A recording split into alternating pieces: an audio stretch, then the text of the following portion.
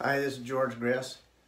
And uh, this year, as in many years past, I've made a special guitar, handmade in my sh Riverside shop here, especially for the Wearable Arts event this year. This one, this year's event is called Intergalactic.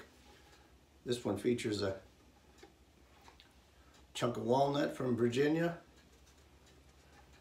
a very nice flame maple neck from uh, that I made from a plank that came from Port Angeles.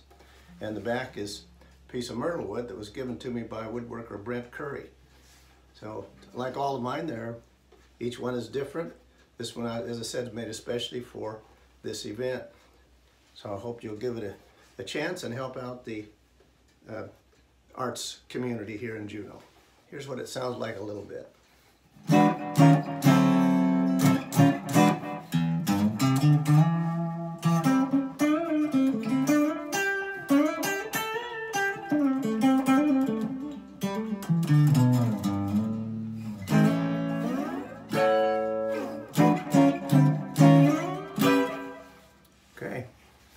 Thank you for looking, and I'll see you uh, at the virtual event.